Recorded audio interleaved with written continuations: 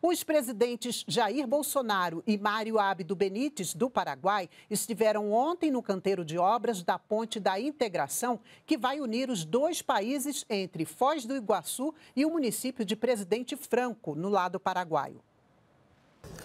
Bolsonaro visitou as obras da Ponte da Integração, que ligará Foz ao município paraguaio de Presidente Franco ao longo de 760 metros. O presidente ressaltou a importância do crescimento econômico e a união entre os dois países. Até há pouco tempo a gente via abastecer carro aqui no Paraguai, agora o Paraguai vem abastecer carro no Brasil. a obra custou 323 milhões de reais e foi financiada pelo lado brasileiro da usina hidrelétrica de Itaipu. Serão duas pistas de 3,6 metros de largura, acostamento e calçada para pedestres.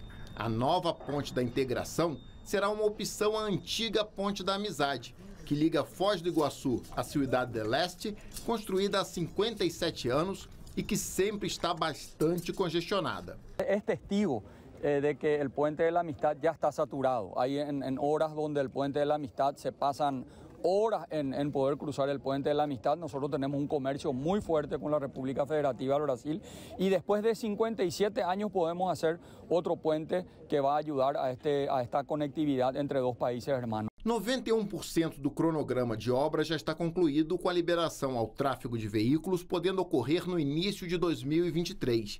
Uma terceira ponte, também financiada pela Itaipu Nacional, está em construção ligando os municípios de Porto Murtinho, no Mato Grosso do Sul, à cidade de Carmelo Peralta, no Paraguai. Vai fazer parte da bioceânica, ou seja, o comércio vai ser enorme e há o interesse a saída pelo Pacífico, porque através dos portos se encurtem muito a distância para outros países.